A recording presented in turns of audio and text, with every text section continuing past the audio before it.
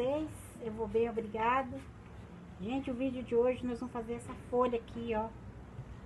Uma linda folha. Folha de figo, viu?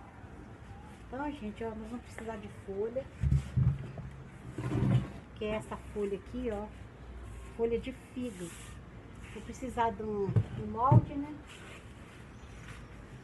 Vou usar essa roda como molde.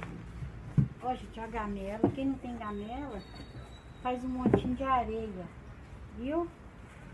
Então, não precisa que eu vou pôr ela aqui. Tem, ó, tem, são quatro folhas, viu? Pra fazer aquela fruteira ali. Aqui, ó, duas menores e as outras duas maiorzinhas. Então, vamos pôr essas menores primeiro aqui, ó. Como vocês sabem, sempre que eu uso o tecido, já cortei o tecido. Tem vídeo aqui no canal que ensina eu cortando o tecido, viu? Então, gente, é assim que nós vamos fazer, ó. Põe uma em cima da outra aqui, ó. Olha isso. Vai ficar assim, ó. Eu já fiz a massa também, gente. É um, um por um. Que é isso aqui, ó. Um litro é isso aqui, gente. É uma caixa de leite. Ela dá um litro. Eu já marquei aqui, ó. Tampei aqui que eu não quero, né?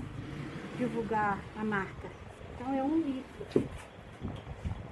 Já fiz a massa. Como todo mundo sabe, meu cimento é de secagem rápida.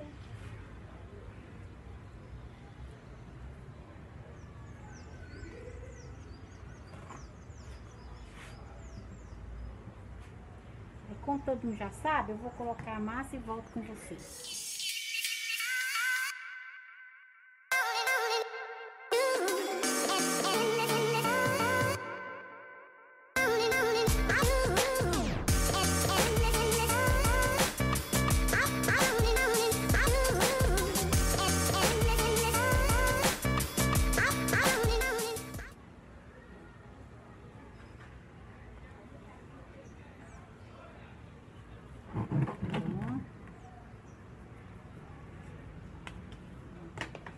Eu tô com esse pouquinho de cimento aqui, ó. Como vocês sabem aqui o pano, que eu tinha cortado já. Ó, aí eu vou pôr ele no. fazer um mingauzinho de cimento aqui. Pra colocar, tá?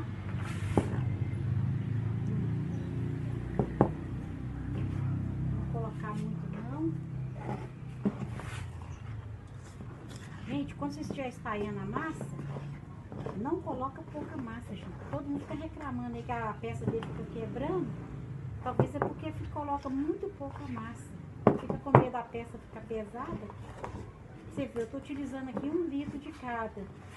A sua peça deve pesar aí mais ou menos 2 kg, 2 kg e pouquinho. Senão você não vai gastar tudo um pouquinho. E quando for para espalhar também, gente, não, não aperta a colher não a, a, a massa na folha. Aí só fiz um mingauzinho mesmo, só pra jogar ali, que a gente já joga o cimento por cima dela, que agora a gente não vai colocar mais massa, né? É só mesmo o tecido. Gente, deu um chuvão ali. Aqui, ó, não precisa preocupar, só mesmo pra dar um tchanzinho aqui.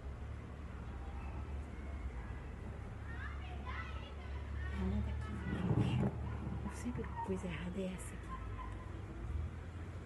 Aqui eu dei um corte aqui, ó. Ela ficar aqui, mas é assim.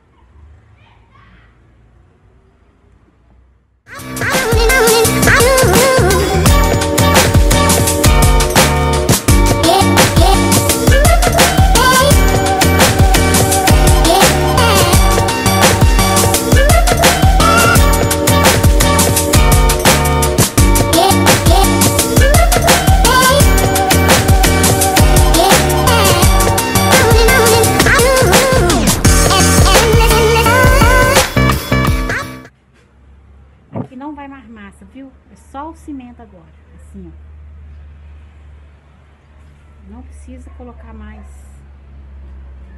massa. O cimento fica muito pesado mesmo. Com a mão, tá aqui melhor. Eu de luva.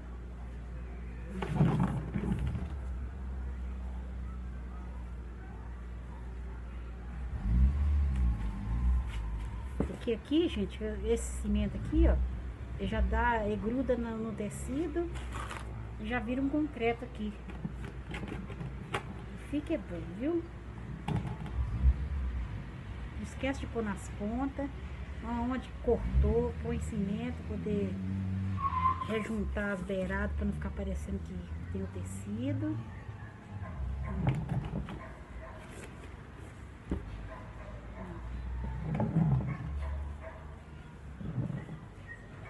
Gente, por mais rápido que a gente quer andar, é difícil, viu? Se a gente não mostrar direitinho, ninguém sabe fazer. Sabe fazer, mas não faz direito. Tem que fazer direito, né? Agora, gente, aqui em cima, ó, eu tenho essa borrachinha, eu vou pôr aqui fazer o pezinho dela. Eu pus um arame dessa vez. Também dá pra tirar. Olha isso. Gente, ainda é aquela massa. Olha que tanto de massa que ainda tem, ó. De um, um litro de cada.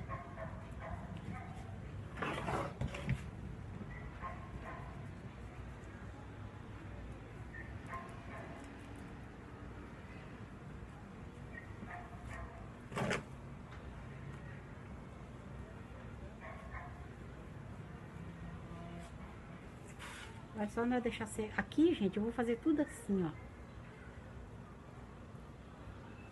Aqui é só lisar agora. Olha pra vocês verem, vai ficar tudo direitinho, ó. Sem colocar massa, viu? E fazendo o acabamento assim, ó, das beiradinhas. Não esqueça dos acabamentos, que é o mais importante. Se precisar, você joga mais cimento, mas faz o acabamento. Igual eu tô fazendo, eu o pano um pouco, depois você põe na, no mingau de cimento. Aí fica bem mais fácil. Do que a gente ficar tacando naquela massa pesada, pra sua peça ficar muito pesada. Então, gente, aqui ó, vou fazer isso. Aí depois que tiver tudo prontinho, quando tiver sequinha. Vou tirar o arame. Olha pra você ver aqui, sai até que você untando a, a gominha, ela sai até com com a mão aí, não precisa material. Eu fiz um modelo diferente. Aí pra vocês verem que ela é de listrinha, mas não apareceu muito não, mas ficou um show.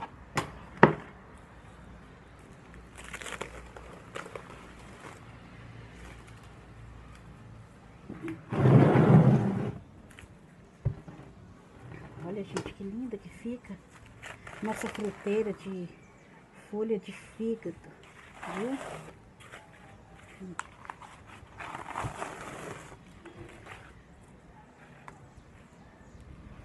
Você vê que essa aqui, ó, tá na mão tá saindo. Fica esses pedacinhos assim, mas sai tudo. Isso aqui agora a gente tira com paciência. Aí, gente, eu vou tirar ela, esse aqui o restinho, vou fazer aquele processo da água. Eu quero voltar com ela pintada pra vocês, rola. Mistura com um pouquinho de cimento. Ó, gente, só isso, viu? Nem água que eu coloquei, ó. Se precisar, se vocês quiserem, pode colocar um pinguinho. Tem que ficar uma massinha assim, ó. Então, gente, pra fazer esse acabamento aqui, ó. Se vocês quiserem ter uma peça bonita, gente, vocês têm que lapidar ela mesmo. Tem que ficar muito bem feito. Eu tive que tirar a luva, porque esse trabalho aqui não dá pra fazer com luva. Hum. Ó, faz isso toda a sua peça. Fazer aquele acabamento bonito aqui, ó. Que fica por causa do tecido, né? Aí fica um espelhinho aqui. Gente, tem que fazer isso. E outra também aqui, ó. Se tiver pontinho, vocês pegam a tesoura, ó, e vai limpando ela toda assim. Tirar aqui, ó. Eu, eu gosto que fica só onde é que tá o tecido. Aqui eu já limpei tudo. Deixei só um pedacinho aqui pra mostrar pra vocês como é que eu faço. Aí, ó, a gente vai fazendo isso aqui na, na ponta dela. Ainda mais que é uma peça aí que você vai usar dentro de casa, que é uma fruteira. E, então tem que ser muito bem acabada.